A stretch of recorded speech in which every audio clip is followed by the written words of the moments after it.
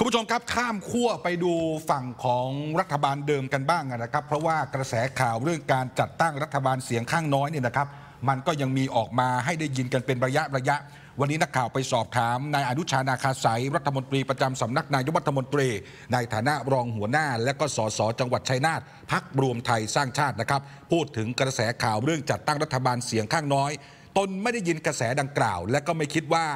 มันไม่มีความเป็นไปได้ ในเรื่องของนายกเสียงข้างน้อย ส่วนแนวทางการโหวตวันที่ 19 กรกฎาคมนี้ ตามแนวทางของรวมไทยสร้างชาติ ต้องขอดูก่อนว่าจะมีการเสนอใครอย่างไร เพราะขณะนี้ยังไม่มีความชัดเจน เรื่องดังกล่าวคาดว่าจะนำเข้าสู่การประชุมของพรรคในวันที่ 18 กรกฎาคมนะครับ มื่อถามถึงกรณีที่สวอ้างถึงการห้ามเสนอชื่อซ้ำจะเป็นการขัดกับข้อบังคับการประชุมรัฐสภาข้อที่ 41 ที่ห้ามเสนอยติซ้ำนายอนุชาก็มองนะครับว่าต้องไปพูดคุยกันในสภา ว่าข้อที่จริงมันเป็นอย่างไร โดยอำนาจตัดสินใจก็อยู่ที่สภาแล้ว ทางนี้ตนไม่สามารถมองได้ว่านายพิธาจะเสนอชื่อได้กี่รอบ เพราะความเห็นไม่ได้อยู่ที่ตนเพียงคนเดียว ส่วนที่มองว่าตอนนี้พรรคเพื่อไทยควรมีบทบาทตั้งรัฐบาลแล้วหรือยังนายอนุชาก็บอกนะครับว่า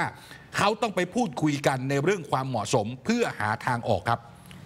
ฝากฝั่งของคุณธนกรวังบุญคงชนะนะคะ รองหัวหน้าพักรวมไทยสร้างชาติก็ยืนยันว่าเรื่องการเสนอนายกรัฐมนตรี แล้วก็ตั้งรัฐบาลเสียงข้างน้อยเนี่ยมันจบไปแล้วคุณผู้ชม จะไม่มีการเสนอชื่อนายกแข่งในการโหวตนายกครั้งที่ 2 19 กรกฎาคมนะคะ ส่วนที่ฝ่าย 8 พักร่วมยืนยันจะเสนอคุณพิธาเป็นนายกโหวตนายกอีกรอบหนึ่งก็ย้ำไปหลายครั้งแล้วว่า ควรมีการเสนอแค่ครั้งเดียว เพราะทั้งสสและสว ก็จะทราบวิสัยทัศน์ของประเทศไทยอยู่แล้ว แล้วควรเปิดโอกาสให้พักอันดับสองมีสิทธิ์เสนอชื่อค่ะคือผมยืนยันตั้งแต่ต้นอยู่แล้วนะครับ ตั้งแต่แรก ๆเลยนะครับว่า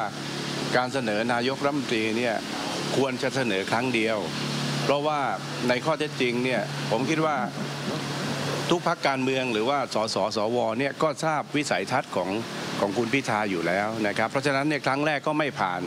แล้วเสียงก็ห่างขาดไปเยอะมากนะครับ เพราะฉะนั้นเนี่ยผมว่ามันก็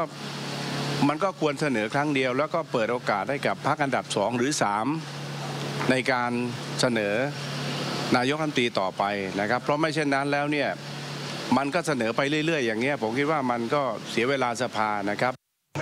ส่วนหากเปิดโอกาสให้พักอันดับที่ 2 เสนอชื่อนายกจะต้องมีการยกเลิก MOU หรือไม่ก็ไม่ขอก้าวล่วงแล้วค่ะ แต่เชื่อว่าพักการเมืองทุกฝ่ายก็ทราบข้อมูลเชิงลึกอยู่แล้ว ว่าถ้ายังมีก้าวไกลร่วมรัฐบาลสวก็ไม่โหวตให้ แล้วก็ไม่ควรเอา 14 ล้านเสียงมาอ้าง เพราะส่วนตัวเชื่อว่าใน 14 ล้านเสียงมีเป็นล้านเสียงที่ไม่เห็นด้วยกับการแก้มาตรา1นึ